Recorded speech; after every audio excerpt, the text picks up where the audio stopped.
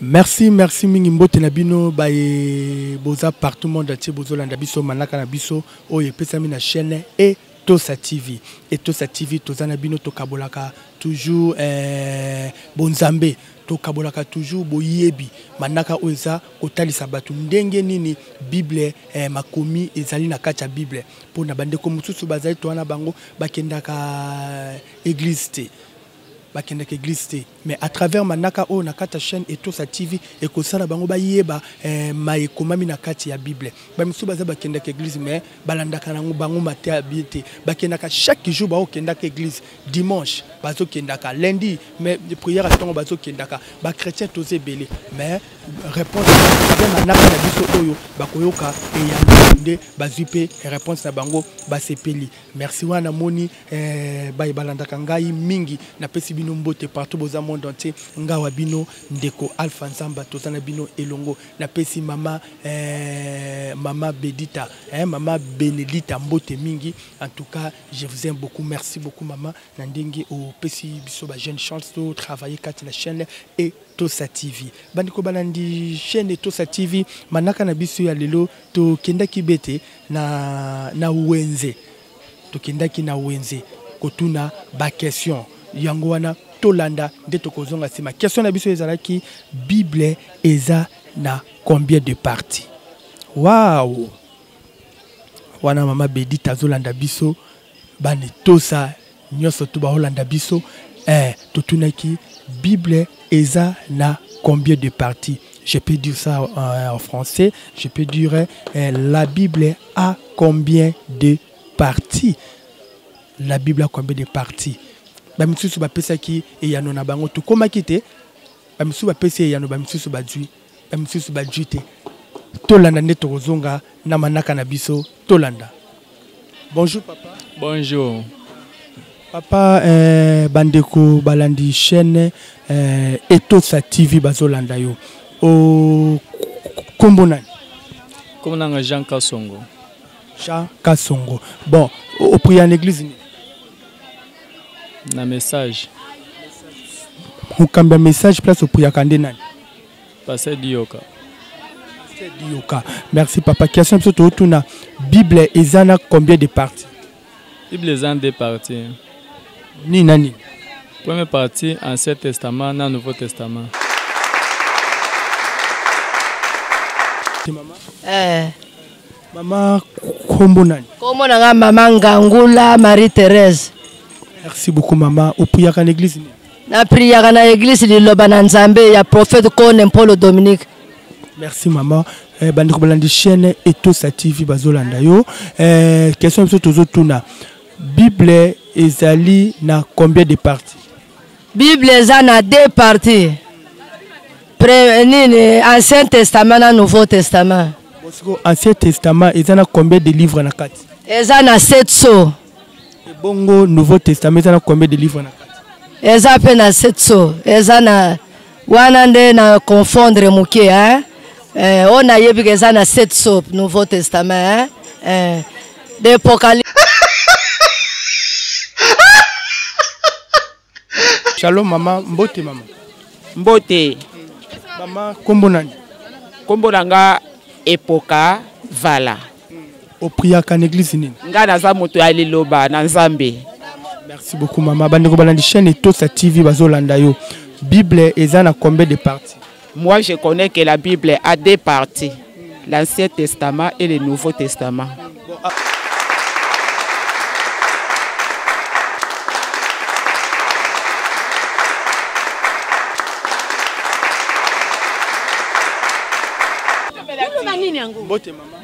Mbote. Mama kombo nani? Kombo na nga Lukani Esperance. opilaka na eglise nini na eglise catholique merci beaucoup mama eh, question biso tootuna bible eza na combien de parti oh, en tout cas wana nayebi te eh, papa na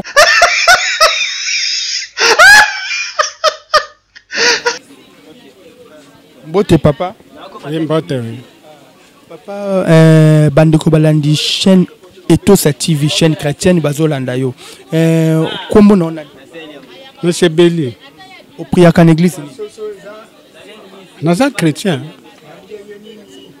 question na biso eza tozotuna bible eza na combien de parti ekabolami na biteni mibale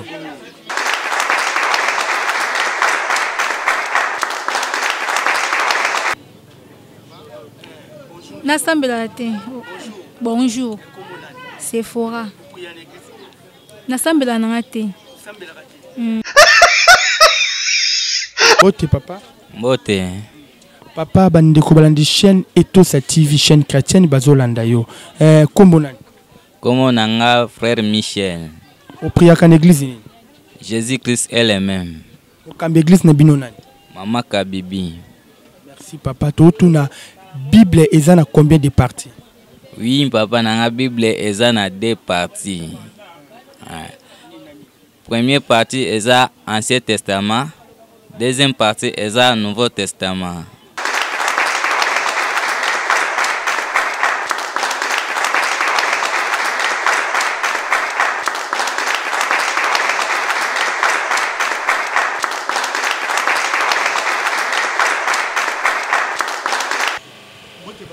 merci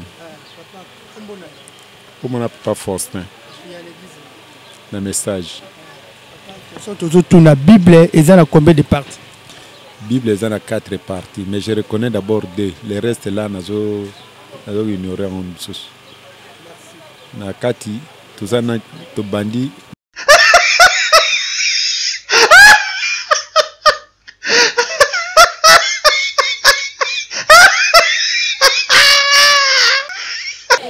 Mbote mama. Eh, mbote mam papa. Mama eh, toza bandeko na chaîne Etosa TV opriyaka na eglise nini?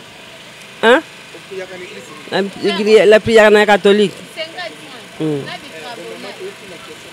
Mm.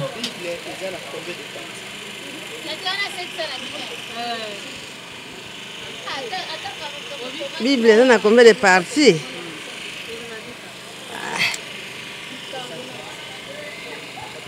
nga nayebi nde na nani nde partis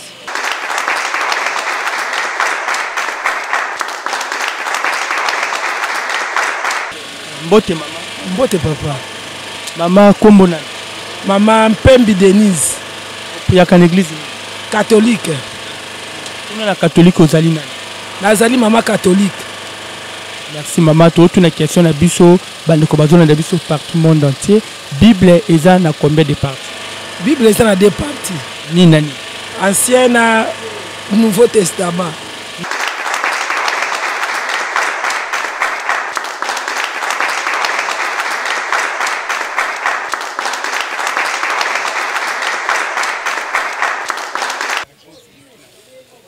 mbote mama Bote papa. Mama kombo nani? Kombo na mama fo. Yaka na église nini? Ngai nasambela na na bima. Sema na bima mokambi ya bima nini nani? Mokambi ya bima, mokambi ya bima na biso bolia. Mm. Mama chaque dimanche okendaka église? Nakendaka. Kuna na bima ozali nani? Kuna na bima na kama ondimi simple. Simple bon ça va toi tu na question Bible eza na combien de parties? Bible, Bible eza, eza na deux parties.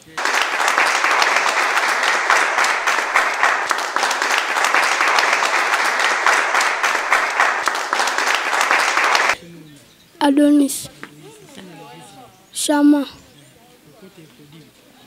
Ekodime, Mokambi Kodim, pas Philippe, pas Philippe. Trois parties.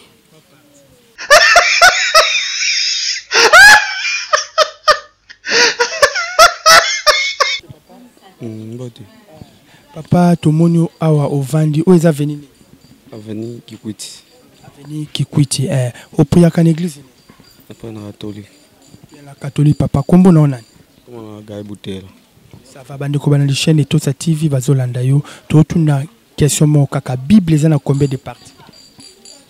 Hmm, Bible eza na trois parties.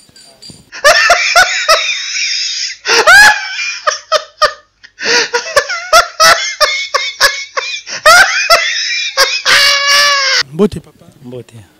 Papa tomoni yo awa tozotuna question na biso bandeko mpe bayeba eh, tozo partage ka connaissance bandeko balandi chaîne etosa tv bazolanda biso eh, opelaka na église bet shalom eh, bet shalom ezalaka wapi eza na bukala nzoko 21 kuna na église oza nani naza ancien question moko tozotuna bible eza na combien de partie eza na deux partie nini na nini ancien na nouveau testament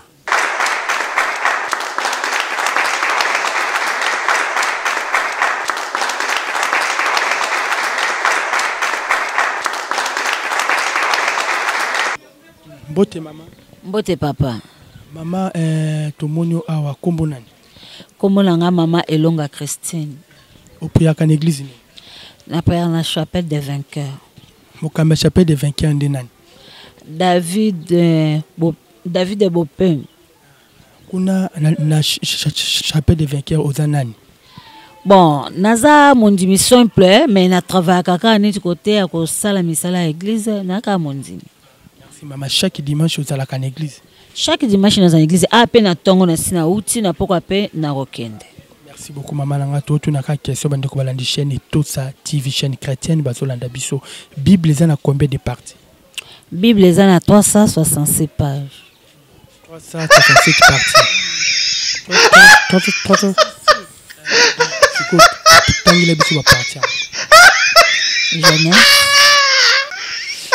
Natanga nyonso kaka eh? eh. Ata moke jeunesse, Matthieu, Apocalypse, Apocalypse, Pisome, Exodes, Josué, Sefona, Agé, euh, Jean. Paul Jean, ils ont trois. Jean 1, Jean 2, Jean 3, Esther. Euh, bon, nani. Oyo asuka eza nini? Apocalypse. Mbote mama. Eh, mbote.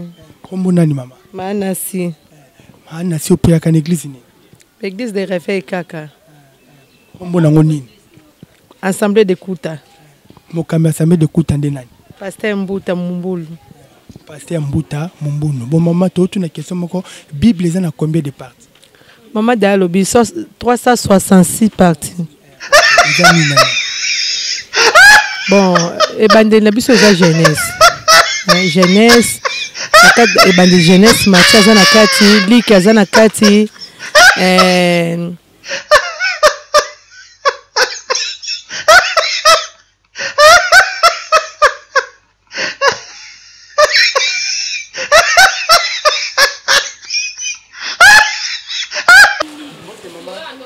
Mm, mbote mama komona koma mama leya opria na eglise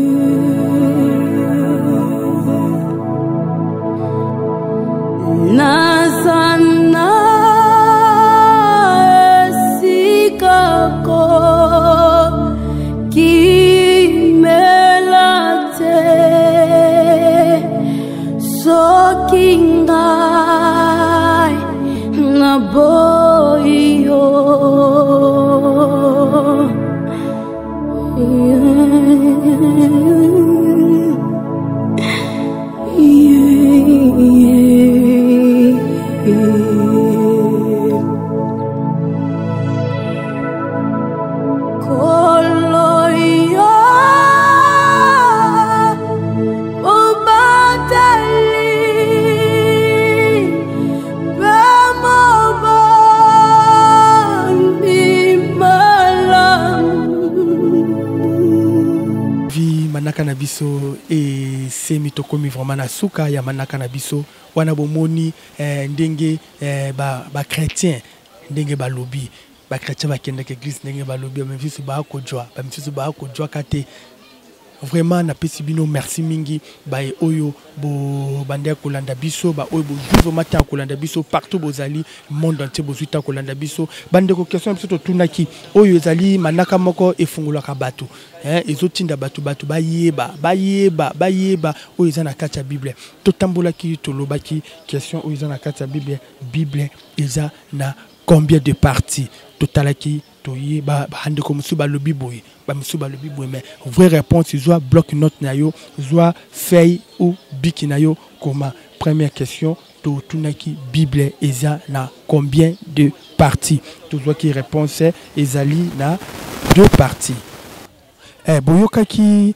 bandeko boyokaki totunaki no bible eza na combien de partie bible ezali na deux parties réponse deux parties eza ancien testament na nouveau testament toboyokaki esu totunaki eh, ancien testament eza na combien de livre nouveau testament eza na combien de livre ancien testament ezali na 39 livre ancien testament eza na 39 livre nouveau testament eza na 26 livre merci na bino baye bozwi ntango kolanda manaka na biso epesami na kati ya chaîne etosa tv tokosenga bino abonnez-vous massivement partage yango vraiment ekozala bien wana tokutani na manaka na biso oyo ezali kolanda ciao ciao kimia na mabota na bino Bye.